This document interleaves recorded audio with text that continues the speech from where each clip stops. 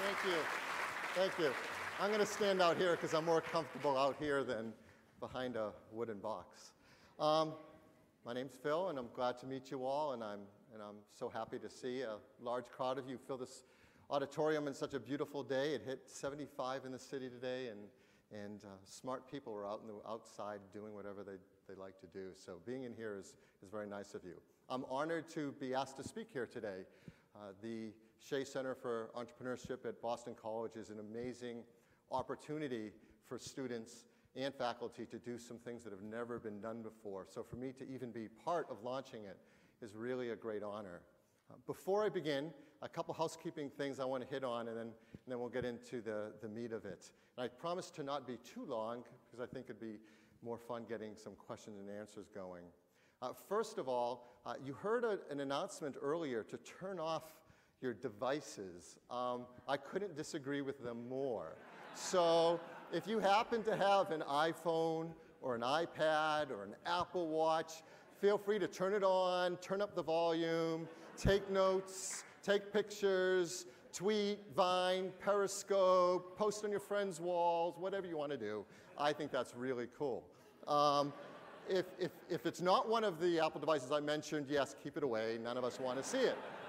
So, um, so that's number one. Number two, uh, if you've ever seen any of the talks I've been like, lucky enough to give, I, I, give many speeches and presentations and demos at Apple. Um, you may know that I've never, ever, ever have a speech written. I never work from notes. I never work from an outline. I never have a word written. I don't use teleprompters. I'm lucky enough to have great slides and great products to talk to, and I just always talk about what I know. But tonight I wrote an outline. so I never do that. So in advance, if I have to check down to make sure I don't forget something I wrote down for this, I apologize. I, I, I never do that. But tonight I, I broke protocol and did. Uh, and last point I'll make before I get going is um, attire. Uh, I decided to mash together West Coast and East Coast in, and, and go a little bit of jacket and jeans because I, I think that's kind of an entrepreneurial look. Um, uh, I think my wife will say I didn't pull it off entirely well, so if, please, I apologize if, if I offend anyone, um, but, but at least give me credit for trying to be entrepreneurial in my attire, um, which is why I would never wear a tie if I didn't have to. Okay, we're using the word entrepreneur, entrepreneurship, entrepreneurial over and over again. Um, I think in the, in the duration of this incredible center, it'll probably be said a trillion times. Um, and that's okay, because I think most people have a general similar understanding of what an entrepreneur is, what it means. At the simplest level, it's someone who creates a new business, uh, but doesn't just create a business, has to take on great risks to do so. Taking on risks to create a new business with the hopes of some great upside opportunity uh, on the other end of it. I think that's a pretty, pretty well understood common uh, use of the term. Entrepreneur, obviously, we stole the word from the French, and, uh, but we do that all the time, c'est la vie. And, um, and, and so, so that's cool. Uh, but the word is actually not a, a, new word. The word, we think it applies to all the great tech startups and things, but actually the word, as you look it up or you check it up on Wikipedia, which you can, it traces back to the early 1700s. It was first been used and talked about and spoken. Uh, so it's not surprising that the foundation of the forming of this country was a time when people were talking about entrepreneurial activities and entrepreneurship. It feels like it's uh, the bedrock of the, of the value system of this country. It is an old word. In fact, the, the philosophy of an entrepreneur predates that. And people talk about everything from Jesuits on missions to explorers that opened up trade routes and needed funding to do so, like Marco Polo and many others are talked about as being great entrepreneurs. I don't know where you define that. I leave it to historians, but clearly it's not a new concept, and it spans centuries and it spans many different fields and endeavors, which will be a fascinating place uh, to cover here. Some things you think about when you think about a great entrepreneur a risk taker, an innovator, often a visionary leader, someone who's passionate, someone who's an opportunist, people who take action. I think the word and the idea of taking action fits entrepreneurial activities so well. They're not daydreamers, they're not philosophers sitting back dreaming and writing but not doing, they're taking action to create opportunity. And that's part of what enthralls us all so much about entrepreneurs and why we want to be surrounded with them and work with them and be a part of it. Because it's exciting to be part of some action that's happening, some change that's occurring. So that's the other thing I think about when you think about entrepreneurs. They change products, they change markets, they change industries, sometimes they even change the world. I don't know if you've ever heard that line before, going to change the world. It's, it's something that Apple has certainly uh, been founded on a philosophy of doing that.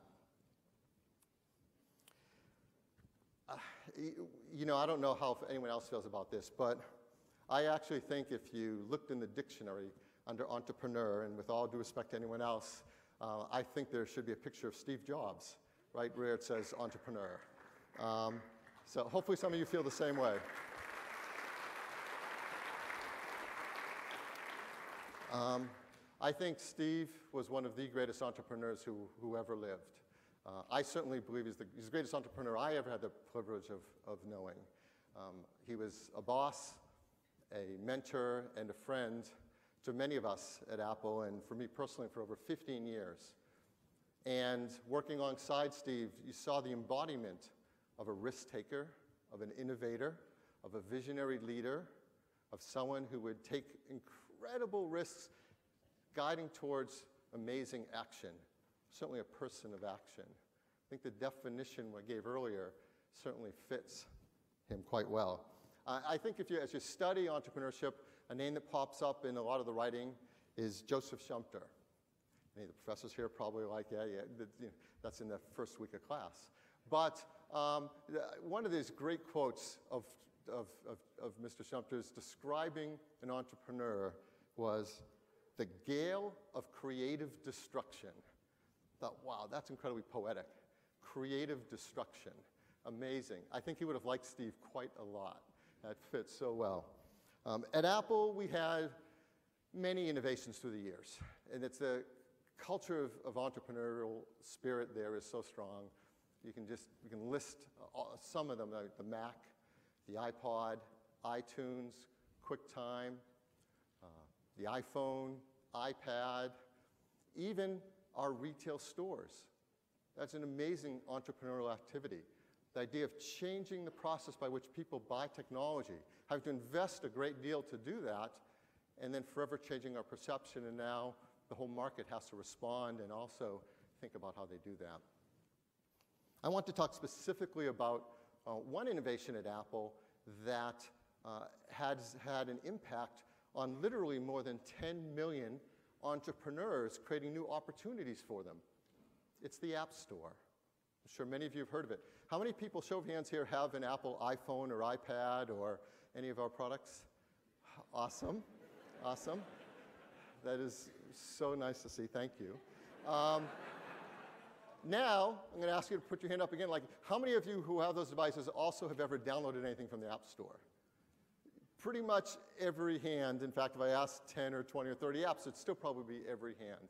The App Store is a remarkable force for entrepreneurial energy. And why? And why? Well, we're going to talk through that.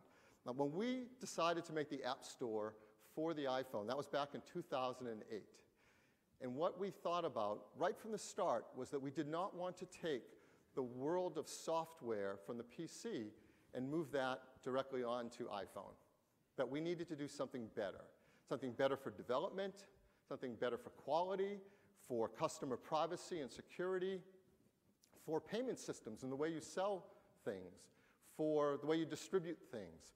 We needed a different system that was better, and better not just for the largest companies, but for all developers, no matter how young or small, could all take part equally and get access to an amazing growing marketplace. That was what we knew from the beginning we need to do. Now, I know it was, how many of you are students here currently at BC? Awesome. Well, first of all, thank you. You're the reason this place is being, being dedicated. This is centers for you, not for us. Uh, so, so I hope this is the, something that you get an amazing experience from. But some of you are probably too young to remember what it was like in the software world way before the App Store. But let me just give you a little glimmer of what that was like, and that might shed light on this. Uh, before things like the App Store, if you had an idea, a product or service you want to create, and the best way to express that is through some new software, which is increasingly the way to do it, you needed to create your application or your product, then came the hard part. That was the easy part. The hard part is you'd have to put it on discs, CDs, DVDs. You had to create installer software to get it off of there onto people's computers. You had to put it in a package. You had to cut a deal with a channel, a store, a CompUSA, or Best Buy or somebody. You had to get them to put it on the shelf. You had to pay detailers to make sure it stayed on the shelf because if it wasn't on the shelf, you had no sales. If you wanted to market it, you had to pay to be in their flyer on Sunday. You had to pay for an end cap that's at the end of the aisle so people would see your software and maybe you could sell more. And after all that, the poor customer had to get in their car, drive to the store, buy this box, take home a CD, stick it in, run this installer stuff that had lots of bugs, and get to eventually run your software. Now you want to put out your update, guess what? You make your new master, you make your new boxes, you go to the store. The stores make you take all the inventory back, which means you have to refund them all those sales, huge risk, which is part of entrepreneurship. And then the customer has to come to the store and buy it again and take it home and install it just to get an update. That's what it took to be in the software business back before an app store model. And that's just here in the US. Now you want to grow and become big and become global, you have to set up deals all around the world. You have to set up a deal with a distributor in Europe and a deal with a distributor in Japan and China, on and on. And each distributor would then create the relationships in those stores and the detailers and the end caps and try to get your business going. The truth was, if you're a small developer, that was impossible. This was a system that could only work for the biggest, largest multinational corporations for software, and that's why there were only a few big multinational software corporations. Everyone else blocked out of it. That's why we needed a model like the App Store. We needed a way for every developer, the youngest college student who had a brilliant idea, who wanted to reach the world, to be able to easily, quickly write software, put it up on the store, and let the world decide if they have a brilliant new idea and are starting off an incredible new business. And that's what the App Store has enabled. So let me give you a few stats because this is great in theory, but in practice, what has occurred? and, and it's, it's hard to, to get my head around myself. Number one, the App Store now has over 1.5 million apps on it in 25 unique categories. I mean, that's a huge amount of software.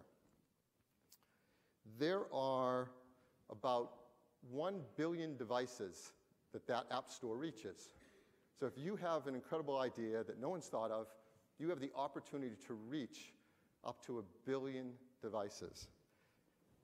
There's 850 apps downloaded from the App Store every second.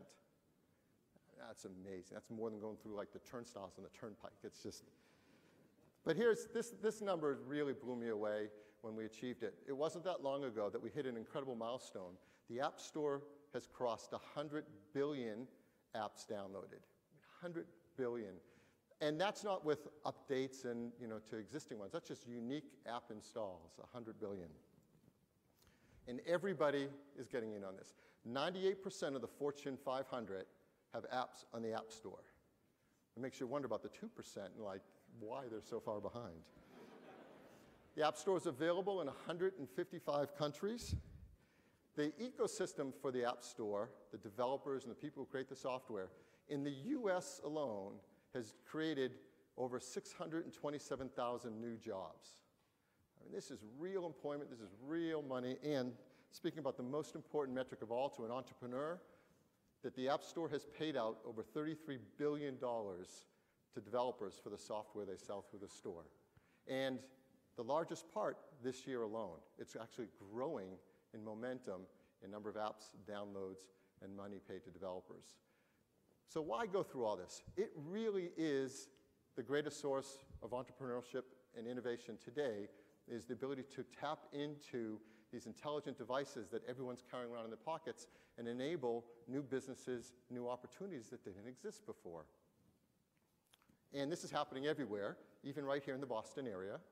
there are a lot of developers on the App Store. I'll just mention one. If, if you're somebody who likes to bike or run, you've probably heard of Runkeeper. They make amazing software for health and fitness, and they're from the Boston area. There, there are developers everywhere. Even our own team at Apple has, has looked at this opportunity to do things and change the world and realized that you can really stretch people's minds uh, with something amazing. And so this example, this, this one is, is perhaps one of the most favorite projects I've seen going at Apple and talk about an entrepreneurial idea. A team at Apple has created something called ResearchKit. If you haven't heard about this, it's remarkable. ResearchKit is a library of software for app developers that lets a medical researcher create apps for medical research. Now, if you've ever been involved with medical research and know anything about it, it's a laborious, slow, challenging process. And we're all frustrated by certain diseases and discoveries take so long to work their way through research to findings to providing cures for people. Well, now with ResearchKit, medical institutions can create applications and all of us can download them on the App Store to our iPhones or to our watches, to our iPads, and take part in these medical studies provide data back instantly from around the world, and now millions of people are working together to help find cures for everything from autism to Parkinson's disease. And they use the phone you have and the sensors to help run tests to tell you where you fall in certain factors in the research study group. And you get results back yourself. It's not a blind test.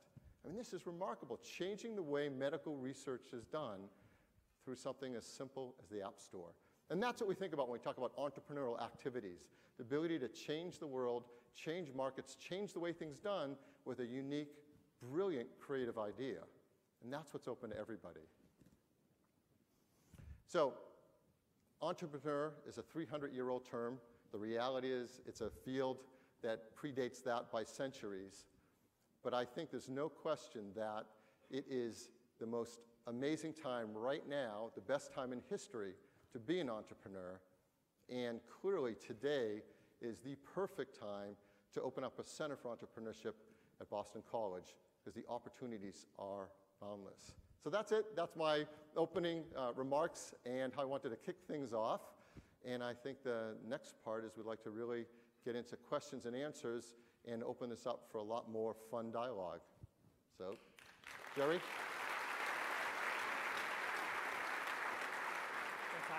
Thank you. Wow, what a, what a keynote, Phil. I mean, just amazing. There probably isn't anybody that has affected entrepreneurship coming out of Boston College than, than Phil Schiller. Uh, came all the way out here, flew out this morning, uh, dedicating so much of your time and an incredible speech. I'd like to give another round of applause. It was fantastic. Thank you. Sure. Thanks. And we're going to we're going to bring up our other, our other two pan, uh, panelists uh, now. We're going to go into the panel side, side of this. Um, I'd like to introduce uh, Bijan Sabet, right here to my right. Bijan's a uh, BC class of 91, lives right here in Boston and Weston, um, and uh, another incredible BC grad who's done so much for entrepreneurship. Bijan started uh, Spark Capital in 2005 and was the first money in a, on a little company that you may have heard of called Twitter. And so he funded Twitter in 2008 and sat on the board uh, for three years. Uh, so that was, uh, if you can imagine, we'll talk to him about that, uh, an, an, amazing opportunity. yes, I just took a panoramic photograph for anybody interested. And Bijan's also backed companies such many that we all know here and use Tumblr, uh, which we you were on the board there, and then you sold to Yahoo uh, CrowdRise, uh, Stack Exchange, also Runkeeper. So Phil gave him a little plug there. Thank you. So many of the leading uh, entrepreneur ventures and uh, started right here in Boston by BC grad. And uh, it's wonderful to have you and thank you for coming today, John. Also, my good friend uh, Niraj Shah in the middle. Niraj, feeling a little bad. He didn't go to BC. He's a graduate of Cornell, but it's a pretty good school. And he's a great friend of mine, so he's come today. Uh, is the uh, co-founder of a company called Wayfair. Uh, Wayfair is one of the great success stories of Boston, just went public last year. It is uh, by far the largest retailer of home furnishing online. Last year, you did sales of $1.3 billion. Um, and is higher. It, funny, I said to, to Niraj, did you know that BC students are going to visit your company tomorrow? Tech Trek is going to Wayfair. He didn't know. He offered. You did that five or six years ago, and you've done it every year. Students going and, and visiting he said he's recruiting quite a few uh, MBAs and undergrads from BC, so you can, you know, email him or tweet, tweet him. come, come on over tomorrow. uh, but he's a lifelong uh, entrepreneur and also from here in Boston. So we're really fortunate to have a great panel. Uh, I'm going to ask a few questions to get things rolling. Um, and uh, then we're going to open up to the audience as well. If you have a question at some point, we'll, we'll open up. You can go to the center and uh, there's a mic and you can ask a question yourself. So let's start. We're, we're here at, at BC with the Entrepreneurship Center. What role do universities play in, in this education of the young people for, for entrepreneurship, you know, for teaching entrepreneurs? Where, where, where do you see, you know, BC and other universities? What, what's important here? Want to start? Or go ahead, we'll put you on the spot. Sure. you know, I, I think there's actually a huge role for universities to play. And so I, um, I've had the same co-founder, a fellow named Steve Conine, who went to Cornell with me, but his younger brother, Matt Conine, went to Boston College. And uh, we actually, through Matt, we met uh, Professor Mary Cronin, who's here, who I saw a little while ago. She was actually an advisor to us in our first company. So I don't know if you knew that. But, I did know that. um, Jerry knows everything is the thing. So yeah. It's- it's hard to, hard to get an edge, but you know, the uh, so the, the the thing when we were at Cornell, there was one undergraduate entrepreneurship course, and we just happened to take it as an elective our last semester.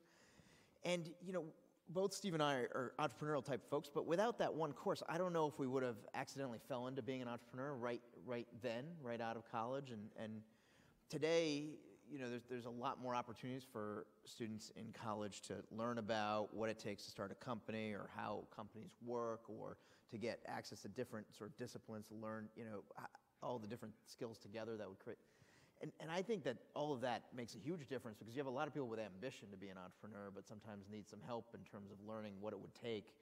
And anything that facilitates that is going to be great for the economy because entrepreneurs tend to create things and build new things. And, and Phil, just you're talking about it, you just start thinking about the App Store, you think about all the folks who create these apps, and then you, you hear about all these success stories. And it, without the App Store, as a, for example, as a source of removing friction, a bunch of them would not have existed, right? So I, I think universities can play that huge role. John, what, Yeah, I mean, I, I totally agree. I mean, clearly there are exceptions of companies that are started outside of a university setting or, you know, companies that, you know, people have dropped out. But by and large, most of these businesses, you know, get started where, you know, the entrepreneur really gets um, what they need out of the university. They get community, they get, you know, endless uh, learning opportunities. It's a place to really explore your passions, to collaborate with others. I mean, you know, we just see that time and time again. You know, co-founders coming together, meeting in undergrad, meeting in graduate school. They have a chance to do work together, experiments together, trying new things. Um, we see it all the time. So, you know, Phil, when you were here, there was no entrepreneurship center, and uh, you're one of the great entrepreneurs to come out of BC. You were a bio major, you know. So, do you have to study? bu- Someone laughed. other than- I'll major. do you do you have to, you know, if- if you're sitting in the audience today, do you have to take entrepreneurial classes to be an entrepreneur? or- Um, no, of course not. It's, but, but, but certainly there's a lot of ways they can help. For me, the, the, the skill I gained from BC that, that's been the most useful for my whole life and career has been um, not any specific subject, but the, the knowledge of how to learn. Because the one guarantee is whatever path you start on, it's going to change. It's going to take a turn, whether it's yourself and your own choices or the world around you ch- changing. And you need to adapt and you have to move fast. And, and if you know that you have the confidence that you can learn whatever you need to learn for that next step and change with it and move quickly, then that's a huge asset. And not everyone understands that and gets how to do that. And that's why I'm a big fan of a liberal arts education in general. I think one of the great benefits is the knowledge that you can learn many subjects and find fascination in many things. And, and you know, for me, yes, I was a bio major, but I was, took a, a computer class while I was here as an elective. I took geophysics as an elective. I took uh, oceanography as an elective. I took an art class as an elective. And the ability to branch out and stretch your brain and learn these different th- disciplines uh, are probably the most valuable tool you take with you. And I think, you know, as you think about entrepreneurship, it, it touches all those components as well, right? So it doesn't really, it, does, it isn't just about, you know, launching an online business or launching a, a, a micro-blogging business. I mean, entrepreneurs are in every dimension. Um, let's talk a little bit. We heard so much about Edmund Shea and how much he's given back to the entrepreneurial ecosystem over his life. We have a lot of alumni here. What's the responsibility of, of alumni and the community to help students, to help budding entrepreneurs? I know you all give back a ton. You're here today. You've had students to your office. You, you know, you've done so much for young people. Do we have a responsibility as alumni to give back to BC? How can people that are here, a lot of alumni here, do that? What, what do you, what's your, Yeah, I mean, I, I, absolutely yes. Uh, giving back is, is, is critical, and and you know it, And I'm, I'm so inspired because we're seeing more and more of that. I, I, I kind of feel like with each generation, every group that comes out of BC, every uh, new uh, generation of entrepreneur, I, I see people giving back way more than even in the previous generations. You know, you have accelerator programs where people can get involved. You know, here in Boston, we have this program called TechStars. We see successful entrepreneurs getting involved. We see, you know, people giving uh, a lot of their time and energy, doing seed investing, advisory work, coming into BC, teaching classes, judging uh, VC competitions. I mean, it just seems to be, um, you know, just getting supercharged, and it's it's critical and it's exciting to see. And you know, coming back in the classroom, I- think you've been to Mary's class, haven't you? Uh, there was a that you, you did Yes. the case. On, yeah. I mean, how, how much fun is that, right? To come into a classroom and, and that's a lot of people who do it. They say they get more out of it than the students even get. it's definitely a lot of fun. I- You know, I also think that um, it's one of the, th- you know, just if you take a step back and you just look broadly, I think one of the things that makes, you know, just the United States such a great place to be, right, is this is a land of opportunity. Well, it's a land of opportunity because anyone can, can do anything, meaning, you know, there's a rule of law and there's all these things. But part of it's just this environment, which is like, it's a very supportive place and people work with all kinds of other folks. They learn from all kinds of other folks. And giving back to me is part of that full circle, you know, and uh, that, I think, you benefit from folks helping you and you get you you give back it helps them but then to your point you know you enjoy it you know you see gratification because you're able to help someone else out you know? Yeah, it's really, it, it is a lot of fun. How about mentorship? You know, one, the other thing we talk about here to our students is get mentors, find mentors. You know, how, how were mentors important in your careers? Did you have a mentor, Phil? I'm sure you did. You could maybe tell us a little about that. And also, how, as a young person, do you, do you get a mentor? How do you find a mentor? And, and how do you, how do you uh, seek that person out? Well, I definitely had the probably greatest mentor I could have ever had with, with Steve Jobs, and, and that was uh, something that certainly changed my life. But in general, I think there are a lot of opportunities for students to get mentorship.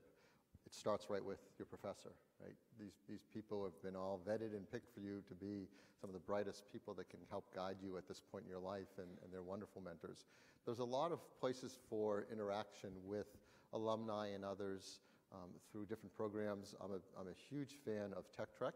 Professor Gallaugher's program is probably one of the greatest uh, business programs in the United States today. If, if, if, you're, if you're not fighting to get a spot in that, you should. It's wonderful. So it's a great opportunity to meet every year both undergrads and graduate students uh, as they travel the country. Um, there are uh, technology councils. There's an East Coast and a West Coast Technology Council. I've been a member of the West Coast Technology Council since it started, and it's a, for those of us out there, if, if you're back on vacation, you can go to the meetings and inter, interface and meet with people. And then, and then I think um, probably the, the thing that can help uh, students the most is summer internships. Take what you learn throughout the year and then go do something in the summer where you can apply that and get experience and meet people in the business world. And, and so opportunities to do that are fantastic. You know, that tech trek is exactly what's happening tomorrow at, at your company, uh, Niraj's at Wayfair, uh, a local tech trek. They go out on Friday afternoons and visit local companies. And uh, I think there's about 30 or 40 BC undergrads and MBA students coming, coming out to see you. And I know you've been so generous with your time. What about mentors for you? Have you, have you uh, had some mentors really influenced your life? Or Yeah, you know, what I would say to that, th- the answer is definitely yes. And, and what I've found is that in a lot of different situations, you just learn a lot of different things from different folks. So in, in my case, rather than it being one person who I'd say is just you know, kind of clearly the person I've learned the most from, there's been a series of a few different folks. And some of the things you learn, and this is um, part of the beauty of, of entrepreneurship, is you know you can get into something knowing uh, very little about it and it can still work out well if you're sort of like always willing to learn, always willing to listen. And I think a lot of times, you know, you learn through experience. And so a lot of the, the great examples I've had that have ended up, you know, in hindsight, you say, well, who's a good mentor? And th- these are the folks that pop to mind, are basically situations where you just have someone who has a lot more experience with something than you. And so their ability to, to, to see patterns or their ability to know how to interact with people in certain situations or whatever, just far more honed than yours are. And so as long as you're always willing to listen, you can learn. And so, to your point about you know how do you find mentors and, and Phil's answer about you know and, you know hey one of the things that you can also help yourself with are summer internships. I think anytime you put yourself in situations like that or other situations where they're just different, you're getting exposed to different things, and you're working with people who happen to know something quite well, you have the opportunity to learn. So I, I think it's just always just being a sponge just helps you out tremendously. Well, speaking of being a sponge, we talked about, you know, taking risks and, and getting outside your comfort zone. You know, and, and I think one of the things that I've, I've tried to instill here at BC the last year or so is to get students thinking about trying new things. I think BC in general has been, for the last 30 years, 40 years, pretty conservative with a lot of the kids coming out. They, have, they want their jobs, investment banking, consulting, big companies. You know, at, at 22 years old, I mean, what's the big, what, what, if you can put yourself back to that age, when you, when you thought about what you were going to do, you know, what, how did you think about taking a risk? What, you, you went out, Bijan, to the West Coast, right? You, know, you, I remember you talked a little bit about this last time we were together. Can you talk a little bit about when, you know, when you were coming out of Boston College and how you formed up what you wanted to do, and did you play it safe or take a risk, and why? Yeah, I mean, it, it was different then. I mean, we were banging rocks together to make fire back in those days. But like, you know, eh, like, you know, we, for me, it was a bit of a, of a journey, and I wasn't sure what I wanted to do. I got turned down from a lot of jobs, frankly, when I was coming out. I ended up joining this little software company that Mitch Kapor started in Cambridge called On Technology, um, and then I met um, I met this girl and and followed her out to California. She was a she's a BC grad. We're married 20 years now. And um, good decision. Yeah, she, she, I was a dorky guy. My roommates here, we were both dorks. I, I married a cheerleader, and, and I make sure we go to every reunion possible. You know, um, and um, but I guess the, the risk that you know I took, you know, in, in taking risk is like you know trying things that you know feel scary. You know, I had never lived on the West Coast. I packed everything I owned in the back of my hatchback and drove 3,000 miles, um, and got to California five days later and worked for a company doing embedded operating systems. I didn't know anything about embedded operating systems, and and um, when you know my first startup got going, I was one of the early people at Web TV. Like I didn't know anything about startups. I didn't know anything about venture capital. Um, you know, when we raised our firm 10 years ago this summer, I, I knew exactly zero about venture capital, investing venture capital, but I had great mentors and great partners. Um, so I think life is about taking uh, risk and, and, and trying new things on. And, and you know, there's gonna, you're going to make mistakes along the way, and uh, I think those are the best learning opportunities. Phil, how about you? How did you end up where you were and the risks you took along the way? Oh, I don't think we have enough time here for all of that. But um, yeah, it is all about risk taking and, and changing. And um, I was a, a, a, biology major studying molecular biology and went to graduate school for molecular biology and decided that isn't, you know, making uh, four-legged newts in a lab wasn't exactly what I wanted to do. So you think I'm kidding? We were. Like you can make a, a newt grow extra legs off of one arm and, and stuff uh, with DNA. But um, we were, we were, do, yeah, we were doing crazy stuff. It was the good old days. Um, but um, so I came back and, and, and you know, um, you know, fear is a great motivator. I'm a big believer of that too. So figuring out, oh my goodness, what do I do now for the rest of my life? I have to get a job and, and trying to find something to build off of some experiences I had had at BC. I said I took a computer class, took a bunch of statistics classes too, and that helped me. Um, but, but I'll share one really funny one. So when I came back, I was trying to figure out what I wanted to do. I got a job uh, working in a lab at Mass General Hospital doing you know, gel electrophoresis and X-ray lithography and stuff, and I was looking for a computer job. And I actually drove up to Wang. Now, kids probably, probably don't know who that is, but us older people do. And I tried to get a job running the tape mach machines for the computer systems at night on the night shift, and I couldn't. Right? They wouldn't hire me without experience. I thought, you're kidding me. I'm, i just have to stand there all night and put a tape up on the tape reel, and I can't get, nope, not experienced enough. So it was really hard getting that first job in technology and, and getting started and I feel for anybody who's beginning. So that's why I'm a big believer of the summer internship. Like, get going before you have to make that your how you make ends meet, and and it's tough, but um, but I found a way through it. What's funny, you know, we, some of these questions that you ask the students to submit them, and one of the questions is around, you know, look, I'm not I'm not a technical person. You know, I, I don't take programming. We don't have a school of engineering. You know, I'll never get a job at Apple or at Wayfair or at, at Twitter. You know, what, what do I have to do you know, to, to, to get a job in a technical company if, I'm not a te- if I don't have a technical background? Well, you should apply to Wayfair because we'll, we'll hire you. so that, that's the first thing you that, that may not be the right decision. So come by tomorrow. No, uh, so no, but you know, it's actually so. I, look, you know, certainly being appreciative of technology and, and understanding, and even if you, you know, if you learn a little bit of how the basics of programming work, those help you in things. But to be honest, you know, a lot of technology companies today do a lot more than just software development. You know, software development's a piece of it, but You have great designers. You have product managers who are blending sort of and understanding of what they want to build with consumer interests. We have marketers and we have merchants and we, you know, we're, we're actually we're a retailer, right? Is really what our business is, but powered very heavily by technology everywhere. But the key to being really successful there isn't necessarily knowing how to build the technology. There's a, there's a lot of roles for people who are super successful building the technology. But the key is understanding the technology broadly enough to be able to think about how it can be used and that creativity. So I think now is an amazing time to be, you know, getting involved with, with the internet and internet technologies. I think it's still super early. You know, I think there's gonna you're gonna look back and there's gonna be like this 40 year period where everything changed and we're like approaching the halfway point, maybe. You know, that's the way I think about it. I don't, I don't know if you guys would agree or not, but I still I still think there's a lot more ahead. And you don't need to, you, you, you shouldn't be intimidated if you don't know how to code.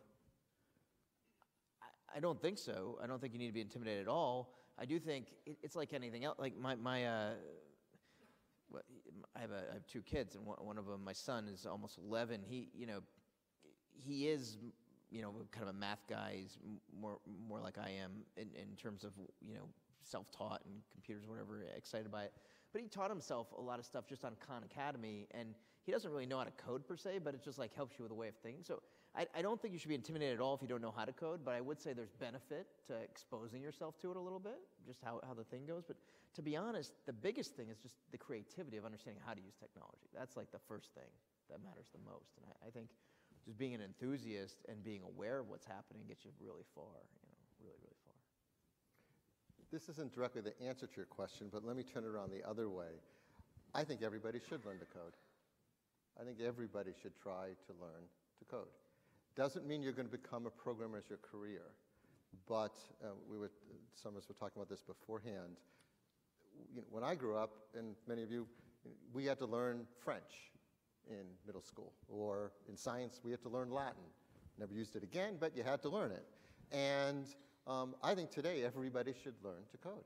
It's sort of like ratatouille. Everybody can cook, not everybody will be a cook. Everybody can code, not everybody will be a coder. And, uh, and I think that's true. If you want to have an understanding of the terminology, you want to have a little bit of awareness of the process, software touches practically every business today, whether it's a technology field or not. And, and to have an understanding of it, have some experience in it, is, is, gives you a leg up and increasingly it gets you to the same level as everybody else. Uh, I, I think it's crazy to decide to not take a, a programming class. Uh, again, not to say that you're trying to change your life into everybody has to be a programmer. Have some understanding. You could, I, I think it's the smart thing to do. Why wouldn't you want to learn? and a lot of it, like you said, can be self-taught too. I mean, you, the courses I, I here are was trying to say the same thing Phil said, but he's just much clearer at articulating it than I am. Bijan, you agree? You agree with that? I, I absolutely do. I mean, I oftentimes meet people and they say, hey, I'm not technical. How am I going to start a company or a product? And, and my typical response is, if you're not technical, get technical. I mean, you know, I mean, we, we backed Dennis Crowley, who started Foursquare. Before Foursquare, he built uh, this product called Dodgeball that Google bought. Dodgeball was an app, and Dennis showed me the code. It was 1,400 if then else statements. I mean, like, 1,400 if then else statements. I mean, it, it was just a hack of all hacks, but like, you know, it got working and, uh, you know, he, he uh, took a couple programming classes at, uh, at ITP over at NYU and he got technical. I mean, you know, could that code last for, you know, 10 million users? Definitely not. But it inspired him to uh, raise some seed capital from some angels. It inspired a, a technical co-founder to say, hey, this is worth that person's time. It inspires other people in the company to say, hey, I want to get behind this idea. Um, y- you know, even if you want to go into product or design, to have that aptitude to understand, you know, what these things are built. I mean, there's nothing worse than a product manager that doesn't understand the product, and now he's got to or she's got to work with engineers, and you don't really understand, um, you know, the scope of the effort. Um, so I, I, I think it's it's it's really critical. Um, and and if you're not technical, just just go get technical. Yeah. So we talked, we heard a little bit, Phil, you talked about what you think makes great entrepreneurs, the risk taking, take action. Let's talk a little bit more about that. What, what do you what do you look for in entrepreneurs? What what what, uh, what is the, the, the thing that makes the best entrepreneur? What, what did Steve Jobs have that that no one else had, or no one else had as good as he did? Well, that's two di- very different questions. It's a high standard. what makes an entrepreneur and then what does Steve have? So, so uh, I think when you're looking for people who are entrepreneurial, you're looking for people who are, I think, um, aggressive in their thought process. They really are looking for, you know, at, for example, at Apple, we, we never set our goal as doing a certain number of things. We want to do a million of those or 10 million. No, we do it about, we want to do the best. What will make the best phone ever made? What will make the best store experience anyone's ever had? That's what we set our goals as. The numbers are a byproduct of trying to be the best. And so you're looking for people that understand how to set that barometer. What is the best? What have others done? What's been done before? What would make it better? What do customers want to make it better? This incredible in- inquisitive mind, intuitive understanding of what makes something better, and then a desire to go do everything possible to make that happen, and incredible self honesty to admit when, um, when you're not doing well and you need help and, and you need others to assist you, but you haven't lost sight of the goal, and, and probably being fairly egoless. You see some people in, in this industry that have very big egos, get those out of the way. Because if the goal is to do something, an entrepreneur, like I said, is an action thing. It's about getting something done. It's not about you, it's about that thing. And so get all the ego out of the way and, and, and, and ask for help. So those are traits we look at when I talk to people are how aggressive are you when you're thinking? How smart are you and where you're trying to get to? How much is this about the, the thing you're trying to do versus you personally? And are you self-honest and willing to ask for help when you need it? Great. Bijan, how about you? What do you look for when you look at the founders for the entrepreneur? You know, the deep down DNA. What is it? Well, I mean, you know, I, I don't know if this is known, but we're proud investors in Niraj's company. Um, so, you know, we look for people like Neeraj. Uh, you know, I, I mean, we, we really look for people that have, you know, a vision uh, for what they want to accomplish, you know, a tireless pursuit of, of going after that vision and wanting to make a real difference. Um, and then, you know, the credibility that they can actually go do that. And, and do that is, you know, inspire people to join the team and to go out and, and, and really try to build something that can, uh, you know, be durable and everlasting. And, and that, that's kind of what we look at. Sometimes it's people that are experienced and seasoned, like, you know, Niraj. We're lucky enough to get involved with Niraj's company after he, he had built it with his partner for a period of time. Sometimes it's a 19-year-old David Karp, um, but you just, you see that same uh, characteristics, and, uh, and that's when we, um, we get excited and, and try to get involved.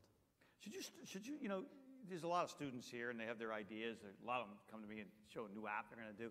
You know, we, we kind of, I've said a lot, I don't know if this, the- Entrepreneurship Center is not about starting your own company, it's about, about teaching you how to be an entrepreneur and get ready to go work in a startup.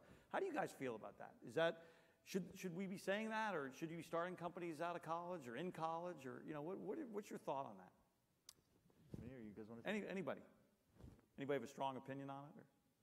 Absolutely, yes. It's the, you know, the time to take the risk is when you're young. Go, go, go explore your ideas. See if you have that next brilliant thing. Go try and do it. Get some help, and and and you know, and if you if you if you find that that's not the path, great. There are lots of paths, but it's easier to try when you're younger. So so now's the In time. col- in, in, at BC, in college, if you have an idea, cook it up in your dorm room and go for it. Carpe diem.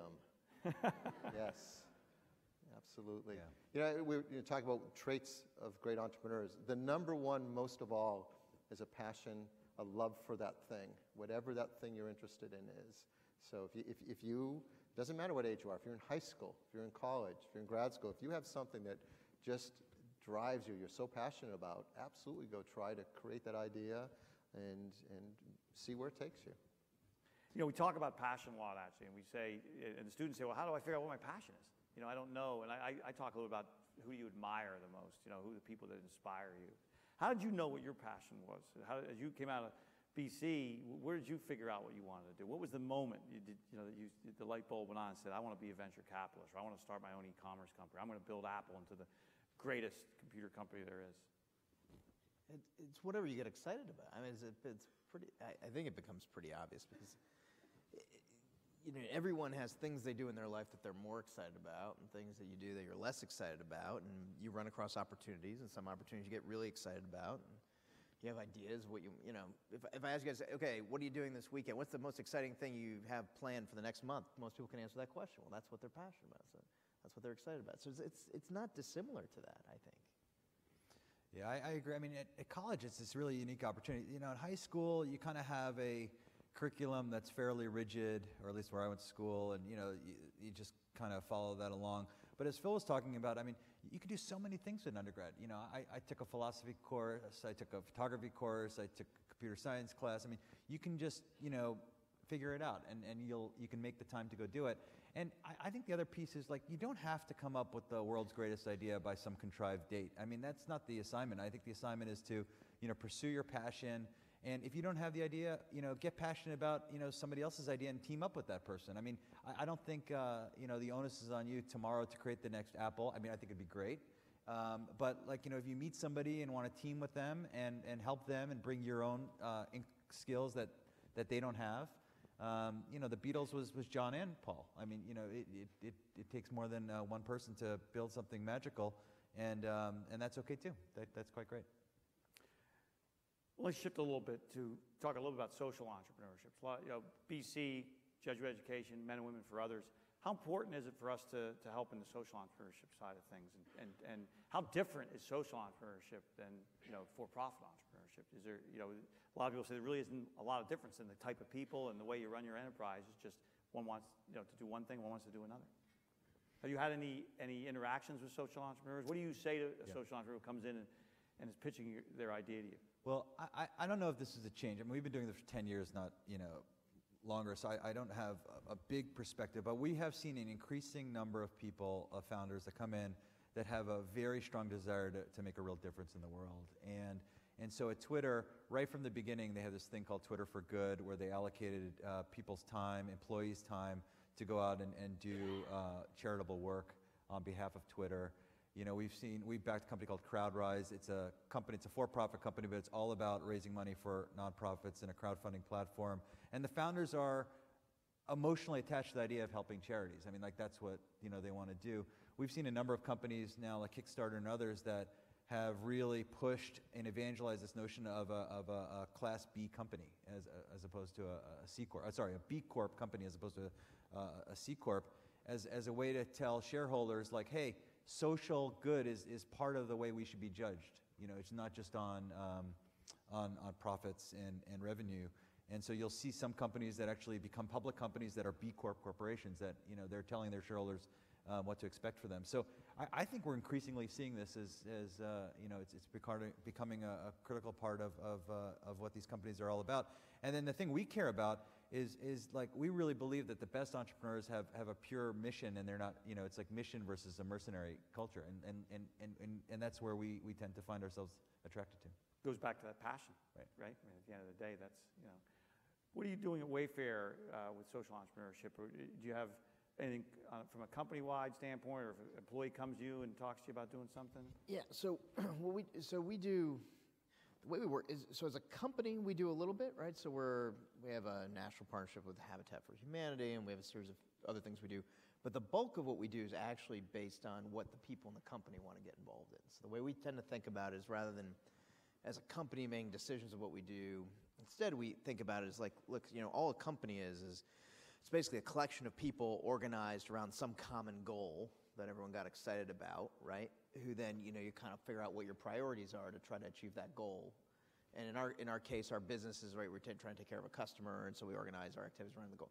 But the the point is that we've you know so we've amassed three thousand people who are organized around the goal. Well, those three thousand people we think are incredibly talented. They can go work wherever they want to work, and they they have all these skills that we think are incredibly valuable. And they have a life which is balanced between things they want to do with their family and things that they do career wise, and things that they want to learn, and things ways they want to give back. And so what we do is we're organized a lot around supporting causes that people in the company get involved in, and then we try to use the resources of the company to help help push those forward. And the, those resources are basically time and money. So those are the two things we do. And so there's different things, and we we as a company organize none of these, but um, there's a group uh, that's headquartered in town called Citizen Schools, which is basically helps in, in public schools outside of the school day, it fills in the afternoon from the 2 or 3 p.m. dismissal until about 6 p.m. in a lot of um, sort of uh, disadvantaged areas and partners with middle schools and creates programs where these students get exposure to a lot of, of folks they wouldn't otherwise get exposure to or you know engineers and doctors and, and all kinds of folks come in and speak but then writing is a big part of the curriculum that a lot of these uh, students don't have great access to folks to help coach them and, and, and teach them on how to make their writing better. So we have about 80 uh, folks in the company who volunteered where these folks, the, the, the students, the middle schoolers, come in to the company in the afternoon. I think it's once a week for a period of like 16 weeks, and then and then you rotate. And they have a mentor who actually sits with them for a couple hour period. And, and this is all coming from the employees of Wayfair. Exactly. Their, So their ideas, they're passionate about it. Two, two employees volunteered for this, and then they recruited others, and it just sort of grew. And so, that, you know, what we do as a company is really basic, right? We give people time, we financially support these causes, we make our office space available and things like that. But we don't, we don't, you know, the truth is, really what we're doing is we're really just supporting the people in the company who find ways that they want to give back that they feel you know, obviously they get the gratification, but they also feel like they're making an impact. They, they're picking how they're going to allocate their time in ways that they can make an impact. That's, that's our, our philosophy is more about supporting our people and the causes they pick rather than us as a company being uh, deciding. I know Apple does it so much. I mean, are you structured the same way? We're, No, um, this is actually, people ask me a lot about how Apple's different uh, today uh, under Tim Cook, uh, following up on Steve. And, and one of the great things is, is Tim, I really think of as a social entrepreneur. It's remarkable how much she's driving, in, without reducing our focus on products, adding um, an agenda to Apple of taking part in important, uh, important social issues that matter to us. And, and there's four in particular that we have major efforts on. Uh, one is the environment. Uh, another is diversity. Third is education, our role in, uh, in education. And, um, oh my goodness, am I blanking on the fourth? Uh, it'll come back to me, one second. So, um, so on, on the environment, it's reducing um, harmful pollutants in products and in the pipeline of all the projects that, that people work on.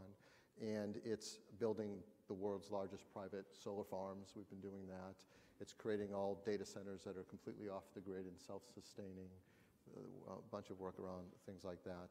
Um, in diversity, there's great causes we're taking up there uh, that have mattered a lot, and our employees are helping to drive a lot of that too. There's, there's, um, but it, but um, it crosses over into education um, with uh, there's a, a project headed by uh, Obama uh, called uh, Connect Ed, uh, try to invest in underprivileged schools to bring technology and mentorship to students that might not have ac- access and opportunity.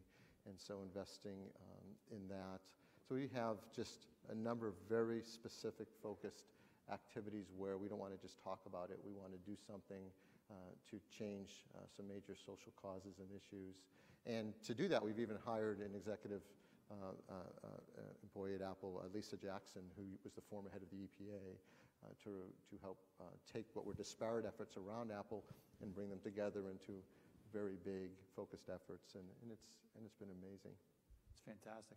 And, and just uh, so you all know, uh, we're going to do this all over again uh, in the middle of March around social entrepreneurship. We're going to have a symposium for social innovation here on campus, and we're really looking forward to that. And uh, so put that on your calendar. I think it's a 20, we're hoping, 20, pencil in, 22nd of March. Um, we're going to uh, open it up to the floor in a minute. So if you have a question, you can go up to the center, and uh, I think that's Julie Kelly back there. Yeah, they'll have the mic. Um, and while you're thinking about a question or uh, taking the risk to go up and ask the question, um, I, I got to ask: East Coast, West Coast. You know, I mean, what, what's the? Is there? Is there all? You know, everyone, you know, says, oh, you got to go. The, the, it's all happening on the West Coast. I mean, you you spend time going back and forth. You know, Phil, you're out the West Coast. I know you travel a lot. You have your business here in Boston. What's the difference? Is there a difference? Does it mean? Does it mean? Is it a big deal? Yes. Not to hurt anyone's feelings, but yes, there's a huge difference. What's the difference? There is a unique culture for entrepreneurship and investment in entrepreneurs on the West Coast that's unique in the world. And I think it's one of the great assets of the U.S. I actually wish more the country realized that this is a wonderful asset we have as a nation, and, and, and it's not about a regional competitiveness, it's just a great resource. And these things happen around the country and certainly happen in, in Boston and happen in New York, um, but nothing really has the, the, the, the vibe of it that you have when you're on Sand Hill Ave in Palo Alto, you know, in Stone's Throw from Stanford, and you see the, all of the people involved in the process and the support system there. It's just, it is a different thing, and maybe it's the weather, maybe it's the rolling hills, I don't know, but it's, um, but there is a difference, I, in my opinion. What do you think, Bijan? Yeah, I mean, look, I, I, I lived there for a while. I half of our investments are there. I'm I was there yesterday. I'm there every three weeks dutifully. I mean, so it is a it is a unique place. Um, I, I guess the few things I guess I'd call out in contrast in in uh, in Boston's defense, or just to kind of call a spade a spade. I guess first of all, like this is just a smaller place. Just it's physically smaller.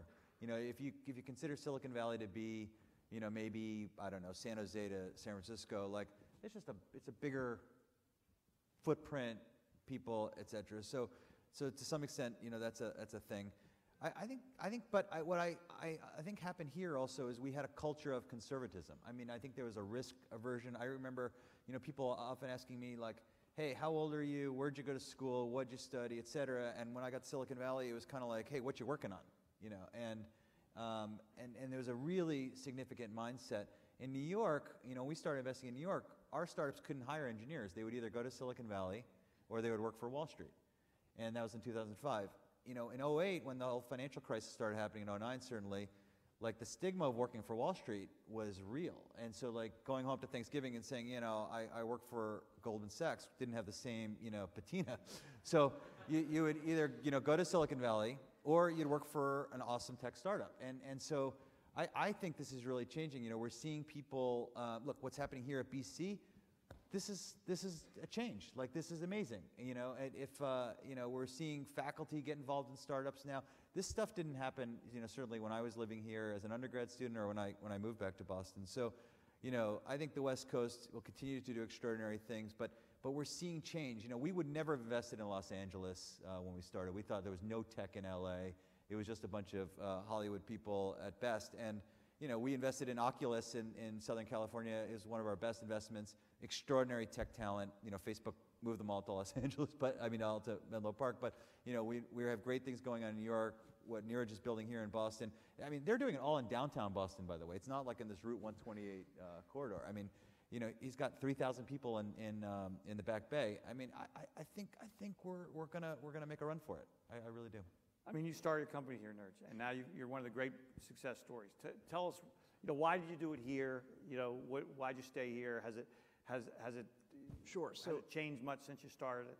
I think basically everything that's been said is true. There's a piece that hasn't been said though that I think is the other piece of the puzzle. So I do think the East Coast is more conservative, Boston's more conservative. I think that's held Boston back from from you know. Uh, being as productive as it could be. I do think in, in, the, in the Bay Area, there's this infectious sort of enthusiasm around entrepreneurship that's really fabulous.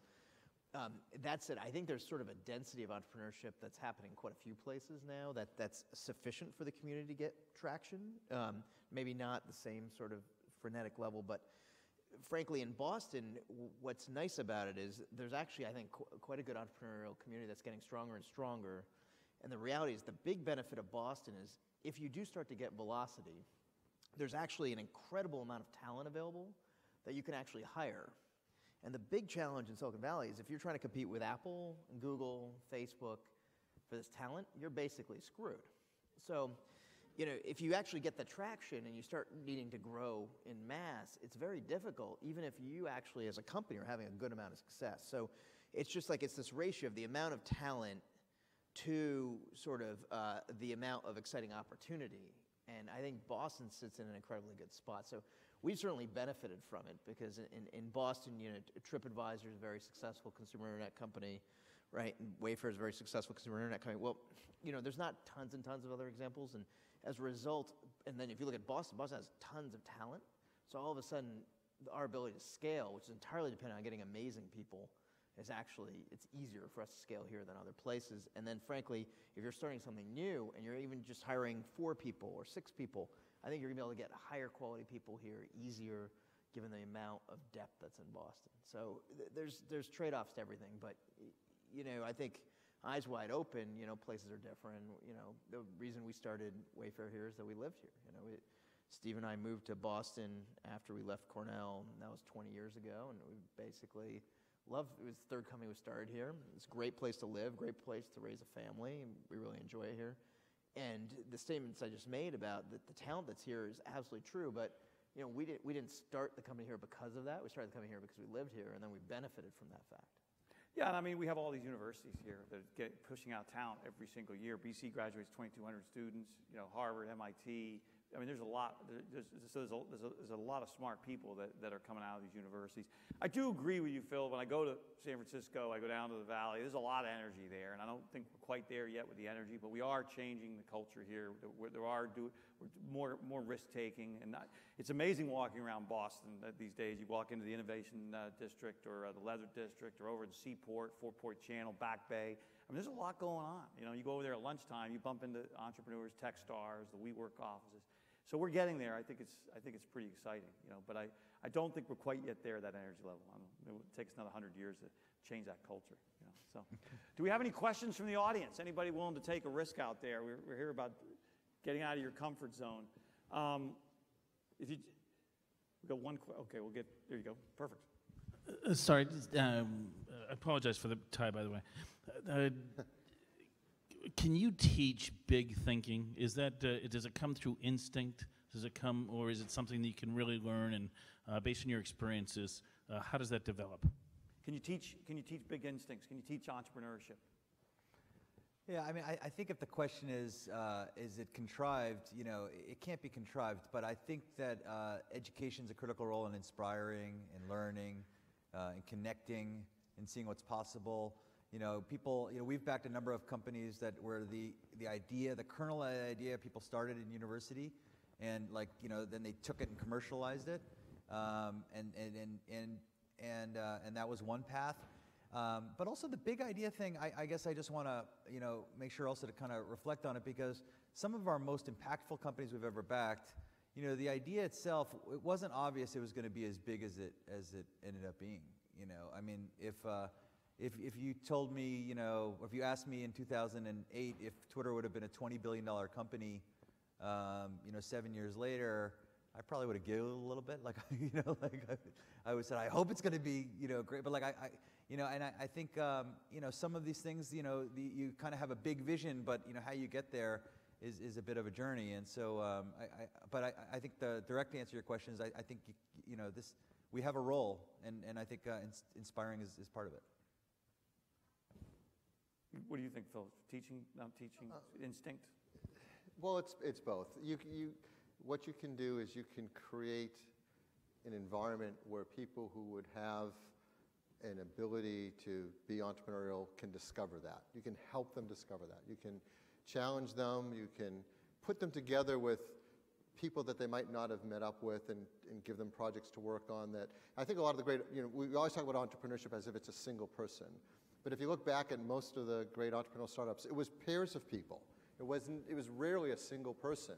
So putting people together with that, that kind of create a creative spark and they feed off each other and then brainstorm an idea and then you encourage them to develop that idea and you give them guidance and then you and I, and I think I'm a big believer in the critique process. Make them present ideas and, and shoot them down and treat them treat it like the real world, like nobody cares. And, and you got to get beat up a few times to get, then you got to work through that. You can create an environment to help those who have an ability to discover that.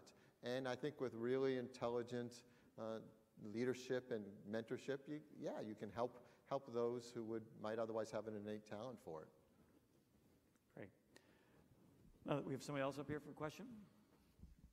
I come from Haifa, Israel, but uh, I really like the idea that uh, going out of the comfort zone is going from the east to the west, and uh, I really, th- I, I would ask if would you encourage students to go out of the comfort zone to other places uh, that are not speaking English and trying themselves and doing what's what's needed basically for those things rather than staying in America, the the English speaking place. Well, I know my answer because I couldn't get a job in Boston, so I had to go to Spain when I got out of BC. I, I love to, I love to hear what you guys think. Getting out of your comfort zone, traveling abroad, uh, you know, going a place where you, you don't know any, any infrastructure. Niraj? So, so you know, earlier I gave an answer to a question which just said that you can learn from you learn. My belief is people really, you know, this is the wrong setting in which to say it, but I believe people learn a lot more from their own experiences, right, than they do from necessarily like a course per se. So if you think about like the benefit of courses, it's really that's pushing you to think about things and it's the people you interact with. So then if you think about traveling to other places, right, you're experiencing totally different environments and maybe people approach things in a different way. So I tend to believe that if you just, whatever your set of experiences are, and you pursue experiences that you think you'll enjoy or that you want to pursue, but then if you try to absorb more through it, I, I really think that's how people learn. And then it helps shape you. And you, the earlier question about big ideas, like, I don't think you can teach someone necessarily to have big ideas, but I think big ideas can occur to people when they're exposed to more and more different things and they think about things that are not necessarily the same thing they thought about yesterday. And so I'm sort of a big fan of it in, in that sense of just kind of pushing people to just learn broadly from a broader set of experiences. Opinions, differences? Yes, Go, go as far away as you can. absolutely. The further you go, the better. I think. Get it. It's all about that risk taking. Why, why don't people take more risks? What, what, do, you, what do you see in, the, in those that don't take the risks, right? You know, we, we kind of, you know, what, what is it you see in, and, and, and, and, you know, how do we encourage, how do we get people to get outside their comfort zone more? We can tell them take risks, but if inherently they're against risk, they're not going to do it. Well, I, I think, a bit, you know, Phil touched on one, one big thing, right? If you think about it, from the time you're young, you're generally taught to avoid risk, right? So it's sort of like, you know, the little kid wants to touch the oven, and you're like, no, no, no, don't touch the oven. It's hot. You know, you get burned. You know, it's just you get, you know, generally people start out very adventurous, and they're a little bit taught to be a little bit more reserved because there's risk, and risk can, can get you in trouble, whatever. So I do think there's something Phil touched on, which is that you know, hey, there's no better time to start something entrepreneurial if you want to when, than when you're young because you have the least risk, right? Because generally the amount of money you need to live on when you're when you're pretty young is very low, you know, and you know, you the experience you'll gain even if something doesn't work is is probably higher than the experience benefits you would gain if you went and worked, you know, in in some kind of uh, you know sort of straightforward function of a very big company where you really didn't get exposed to as much. So I think it's like one of those things where, as much as you, you know, when you're really young, you're teaching folks to avoid risk. Somewhere in there, I think there needs to be teaching, and this is what I think like an entrepreneurship center could be great at doing, is encouraging people to realize that there's less risk than you think. So if it's something you want to do, it's probably the highest economic activity you could do as well. It's not like you're trading that off. You're actually you're you're gaining. So I, I think it's just it's almost like um, undoing some conventional wisdoms around what what really risk is. I, I I don't know that you're actually taking a lot of risk when you try something. I mean, it's perceived. The percentage of students now traveling abroad at BC is off the charts. It's amazing. So I, I think it's already happening. You I don't know how, when I went here, traveling abroad meant going to Newton campus, right? now it's, I mean, they get around the world. It's, it's remarkable. But taking risk could be what you said earlier, Phil. Try take new courses, courses things you, you, you always wondered about. You know, don't just stick with what you, all- you, you know. Try new things. Yeah, I, I look. I think there's a natural fear element here of, and a, and a, a fear of failing, a fear of making mistakes, a fear of the unknown, and and I think you know it's kind of you know we need to create an environment of of so that mistakes are permissible, you know, and they're encouraged. And you know, I, I- was just giving this similar talk, and I was in Paris three weeks ago, and, and they they are wrestling with this thing where each generation is saying, hey you know, you're kind of, there's a stigma of failing in, in if you're an entrepreneur in, in France, even though they came up with the word. um, like, th- there, is, there is this, you know, fear of failure, and it is palpable, and I, and I think that's the thing that holds us back. Um, I, I guess I was paralyzed with fear. I, it was 1995. I got this job. It was the shortest job I ever had, but I took a job at Sun Microsystems in 1995, and I was there for 30 hours. And um, and uh, and I got this offer to join this startup called Web TV Networks just as it was getting going, and it was like a 80% pay cut, um, unknown if it was going to get like the funding, and um, you know, and then but Sun was this big company at the time and doing all this stuff. Uh, but I walked in that office and I knew it wasn't for me. And then I was going, oh God, I'm going to resign from this place I was barely at. I was scared I might this other thing. You know, my parents are conservative. It was just this crazy thing. But, um, you know, my, you know, um, wife at the time, she just said, like, worst thing can happen is, like, it doesn't work out. And she had a good job as a nurse and would figure it out. And so that was the, she gave me permission to make a mistake. 30 hours, so it was 30 uh, hours, yeah. one and a half, one day, you came in, enough time to come in the next day and tell him Yeah. you didn't like the and then my before. first job at WebTV is I had to cut a deal with Sun for a Java license, and my name was still on the office. It was There you the go, craziest- perfect. So I think we got one, t- uh, last question, I think we're, we're supposed to wrap it up right around uh, 6 o'clock, so. Let- uh, Let's make sure it's a student question. I think we, the last two questions were typical, um, no offense, old people questions. Can we teach them big ideas? Will they travel? I don't think that's the way kids think. It's like, give me a plane All right. ticket, right? Go ba- go, uh, If you want to just go back and get the mic, uh, I think that's for a student, any, the first All right, student back great. here. Good Run. job, Phil. Maybe we'll do, if you get two, we'll do two more questions if they're from students. Okay. Renee made me Oh. promise, we got five pass, we're all right, right, Renee? Okay. Um, Th- thank you so This much. is always the Uh, dangerous part for those who don't do a lot of BC student interactive things. The, the secret of BC is that the students now have to have higher test scores to get in than we did when we went. By default now, that means they're smarter than any of us. Way smart. Right? So when they ask questions, they usually stump us because they're smarter than we are. Okay. Thank you so much for taking the time to be here. My name is Shalin. I'm a senior at BC. Um, I guess my question for everyone uh, on the stage is Is there something you guys believe in that you feel that most pe- other people don't believe in? So, is there a contrarian view that you hold right now that only you feel that you believe? And what is that? And why do you believe that? Stumped. Stumped. you nailed it. Yeah. oh boy. Noted. Okay. Start? Well, I'm, I'm, I'm, I think I'm- the obvious bit answer is yes. The question is which ones to share publicly. But Hey, what's on the Apple roadmap for the next 36 months? Oh, yeah, here, look, the next secret thing, I'm, I'm not gonna, uh, yes, of course. I, I think what, what, what you're really touching on is an important point, which, uh, which is uh, there's a real power in having a unique perspective on something that others don't.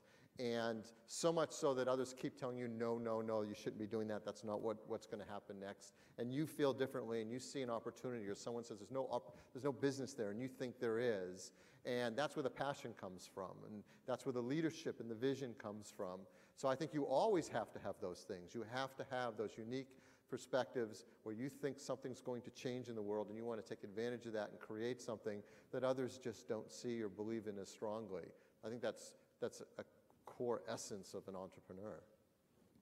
Which ones? Well, I leave that to others to say. Niraj? I've only thought of one so far in the time I've had, and I'm not going to share that one. So I got I to keep thinking. Why don't we start running through Bijan's list? He's going to have some good ones. Well, I mean, our, our, our, we're in the leap of faith business. By the way, nice to see you again. we met in Professor Gallaugher's class uh, maybe three years ago, and uh, just to tell you how talented you know BC students are, uh, you know, uh, we talk what once a year, something like that. And every year he's like, "Hey, this is what I did this summer. I interned at Tumblr. I was at Square. I was at." And he's like, "What did you do after your sophomore year at BC?" And I was like, "I was a tennis counselor."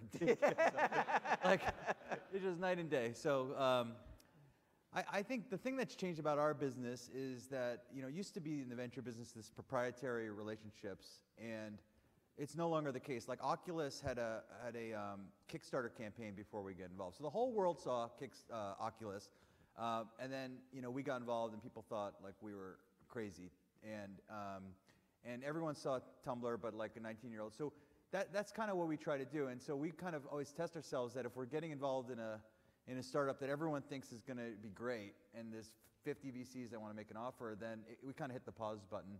Um, so we're, we're trying to. This is a, this is the never-ending question for us. So I, I don't know if I have any blinding insight, but it's something that we're we're obsessed upon. I will say, I'll confess, once a year I take a meeting with somebody building a, a jetpack because I'm I'm like obsessed about these things.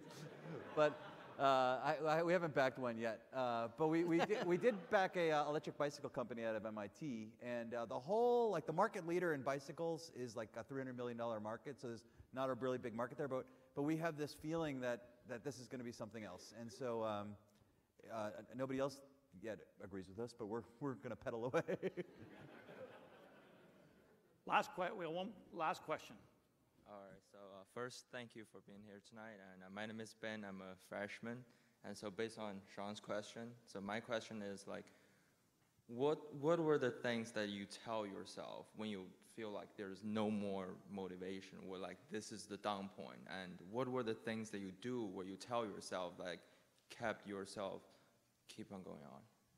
So how do you overcome that adversity and that, that how did you persist and when you were facing tough times? Great, great ending question. How do you, because we all go through it. We'll give it to you first, There's no time to think. All right. So one thing, one thing I'd comment on, I think it sort of answers your question, which is so after the first business that Steve and I started, we started a second one, and the second one, the first one was successful. The second one ended up not being successful, and so we, you know, so you know that was fine, and we figured that out, and so we wrapped it up, and so we were trying to figure out what to do next, and so we're sitting there and we're going through idea after idea, and we're trying to like be like you know really thoughtful because you know we didn't want our third idea to not work, right? So we're trying, you know, and so the key, if you analyze an idea really well, you can definitely figure out how any idea will definitely not work. And so we got very good at this. So you know, day after day, and we could just tear them apart, and we're, we're very we're, hi- we became highly effective at this. And so in the meantime, you know, we're not doing anything. Our energy levels sort of dropping. We come up with new ideas, or we we'd see a business that was for sale, and we'd look at it. But you can always find the problem in everything. And so one of the so, so what I what I would tell you is I think sometimes when you're going through a tough time, like in a business or you're you know your tough time in, in between things or whatever, there's there's a lot I think to be said for momentum, which is at some point you just need to go do something. You know, and I, in my experience, you know, you, you have an idea, and the odds that it ends up looking exactly the same any meaningful period of time later is not, in, in my experience, been super high. There's like twists and turns, and a lot of it comes out of just like, again, paying attention to what's going on, absorbing information, and, and, and moving in different directions. So, my general answer is to find some way to create momentum, even if you're not super certain that the direction is, is, is exactly right. So, that would be, my, that'd be my, my suggestion. That's a great answer. Can I, can I make a suggestion? Can we just get a couple uh, women questions just because uh, we had four dudes and I got to. There you go. I Yeah. like it. All right, great. Good. I saw Cindy up there. All right, great. Cindy, you got a question? Yeah, that's why I'm standing up here. Um, Yeah. uh, thank you guys so much for coming out. My name is Cindy. I'm a junior, um, actually majoring in entrepreneurship and finance. So thank you so much. Um, I'm on the board of the Shea Center, uh, on the Start at Shea board. I'm really excited to have you guys here. Uh, my question is, you guys have taken a lot of risks in your lives. How do you kind of figure out what risks to take? Um, do you is it more about the quality of the idea, or is it an idea that you think can execute? I mean, you know, do you think about whether the like the chance of success is that something you're you take into account? Uh, I think all of the above. It's, it's, it's, you need to look at it from the perspective of what do you care deepest about? What do you have a chance of pulling off and making happen? You, you have other people involved, and what do they also want to do collectively? And, and what will create something that has lasting value. It won't be just, well, we did something, and then a year later you look back and who cared? Uh, what will really build an ongoing, growing thing that matters to the world and has, has unique value for, for yourself or your company? Uh, I think you have to look at it from all sides. Yeah, the only thing I would just add is, you know, generally, f- for me, like by the time we pursue an idea, like I don't see any risk in it anymore. I'm like pretty confident it's going to go somewhere. Now, d- that doesn't mean they all work. They definitely don't all work. But y- you know, you just the truth is like you you can get to where you really believe in it, even if there's a lot of unknowns, because you know there's enough there that you just sort of you really want to go for it. And so some of that's passion, some of that's the the information you've been able to collect and, and the odds or whatever. But you, basically, the risk goes away because you become pretty bullish on it. All right, so this is the very last question in the back. Thank you. Um, so I was just wondering, in terms of more venture or maybe acquisitions, when you look at a new um, startup or a company that's pitching to you, are you more likely to work with a founder that you think has um, the momentum to create something great, or are you looking more at the actual company and its idea? Or is it, I mean, I'm assuming it's a combination of both, but could you just speak to that? Yeah, I mean, most of what we do is early stage. Uh, so for us, it's it's uh, it's about you know the founders and the idea, and and we spend time getting to know the founders. And and for us, a lot of it is is why do they want to start this company? You know, it's it's it's the why, not necessarily the how. And um, so for us, that gets us uh, to a place where you know we, we get really excited as well. Um, because in the early stage, it's not like you're investing in you know five years of revenue or you know uh, you know five years of product history. It's it's really you know taking a a, a making a, a, decision on on um, on lesser known things. So for us, the founders critical are the founders, and then uh, and then you know wh- why do they want to start this company? and, and that, that tends to get us uh, over the. In Niraj's case, he, he had already built a successful company, so it was a bit of an exception for us. Uh, so we were very, very fortunate. Actually, my partner begged him for years to let us in, and it took, took him a few years to, to, to uh, allow, make that happen. But, um, but for the most part, that's what we obsess on. Fantastic. Well, we've you know really reached the end of our time uh, allotment here. We what? How fortunate are we to hear from three of the of the most incredible entrepreneurs?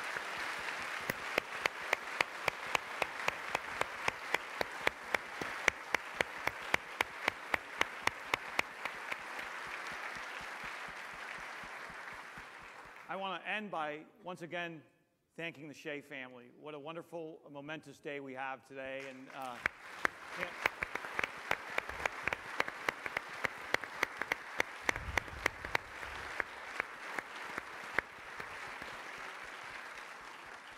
The video was really touching, and I feel as if uh, Edmund Shea was here today, he would really be enjoying this conversation. We're very fortunate. So, thank you all for coming. There, there's a couple uh, things I'd like to let you know. One is there's a reception afterwards. Uh, we encourage you to come and, and meet. There's a lot of students here, there's a lot of alumni. Let's connect. It's a great way to make connections and uh, start some mentoring opportunities. So, please uh, do that. Tomorrow, we have a, a, a day of panels. We have at 1 o'clock in Gasson an incredible panel on funding a business. Um, and then uh, we have the elevator pitch uh, final winners, student teams presenting at about 2.15. And then at 2.30, we have another panel, founding a business. Uh, so we got some, some great stuff going on tomorrow. On Saturday, we have the uh, BC NC State football game. And we have a big tailgate uh, before that for anybody who loves entrepreneurship in O'Neill Plaza. We invite all of you to come by. And so it's a real celebration and we're excited. We thank you very much for, for coming. It's the beginning of a, of a great journey forward. Thank Andy Boynton again and uh, everybody here at BC for giving us this, this, opportunity. And once again, really, I mean, this is fantastic, guys. It's just been a lot right, of fun. Thank, thank you. you very much.